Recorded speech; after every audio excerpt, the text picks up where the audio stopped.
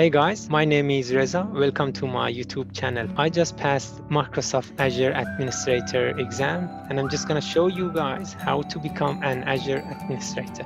Let's start. I'm gonna talk about three things. How much time I spent for this exam, what kind of resources I've used, and some tips and tricks to help you guys to pass the exam. How much time I spent? I've spent around two months, roughly two hours every day. And number two, what kind of resources I've used? I use Microsoft Learn Portal as the main resource. Okay, if you browse to Microsoft Portal and if you search for exam AZ104, you will find this page. I will put the link of the all websites that I use in this video in the description area okay? If you go to Microsoft portal and if you search AZ104 you will see the main topics that evaluate your skills against this certification. You can download the exam skills outline and find the detailed area of these of each topics.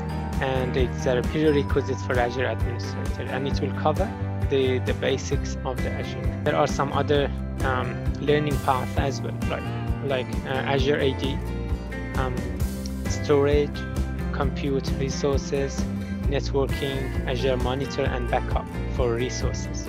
This certification is not about just only passing the exam. It's just it is not about reading and studying. So for this, I would recommend before starting the reading and studying, go through Microsoft Ignite YouTube channel and find this um, this link. They haven't provided AZ104 as Ignite yet, but the concept of this video is the same as 104. So you can go through this video and find out from these chaps. They provide some good advice and suggestions.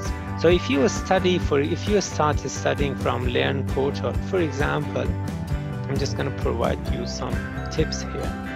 If you find, for example, this page an important items and you you want to review them in future again before your exam, you can click on bookmarks. You can bookmark it, and if you go to your bookmarks, you will see your bookmark here. Once you read and cleared it, you can delete it. I had more than 100 bookmarks here two or three days prior my, my exam I cleared them all one other thing that uh, during the study you may you may do is I've done this one. You can copy and paste some of the most important items and create one note for yourself. For example I've created for each and every module separate page. Um, this will this will help you prior your exam to review your notes. If you study these modules from Microsoft Learn Portal, and if you want to help yourself to to understand it better, I would suggest go to the some learning providers. One one of the best one for me was um, Scott Duffy from Udemy. I, I bought the package and it was quite helpful for me it's around 12 hours training with 28 articles, some downloadable resources, and some quizzes. I highly recommend this one. You may use CBT Nuggets, Cloud Academy, Linux Academy. There are a bunch of other uh, service learning service providers, but I would suggest this one. So if you watch these videos, if you learn Microsoft Learn Portal, still you need to interactively engage yourself with Azure services. That's why I suggest definitely please go through portal.azure.com, create a profile for yourself, and you can use Azure free trial, which will give you 200 free credits.